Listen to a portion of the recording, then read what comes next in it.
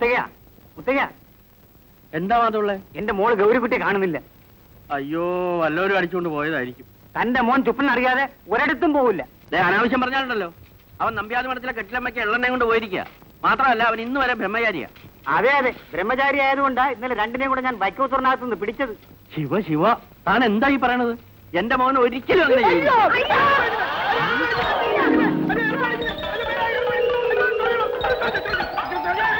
എന്താ ഇത്? എന്താ ഇത്?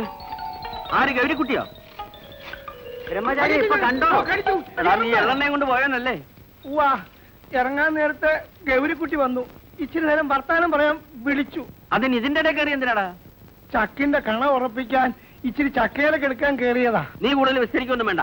എടോ മാധവളെ ഇവരങ്ങനെ വെറുതെ വിട്ടാൻ പറ്റില്ല. തനിക്ക് കൂടെ സമ്മതമാണെങ്കിൽ കെട്ടിച്ചളയാ. എനിക്ക് സമ്മതക്കുറവൊന്നുമില്ല. അടുത്ത് തന്നെ നല്ലൊരു മുഹൂർത്തം നോക്കി. അതങ്ങോട്ട് നടത്തിക്കളയാം അച്ഛൻ അച്ഛന്മാരുടെ കാലിലേക്ക് വീഴ നമസ്കാരം. എന്നോട് കൊടുത്തിട്ടാണ് അവന്റെ ഒരു നമസ്കാരം.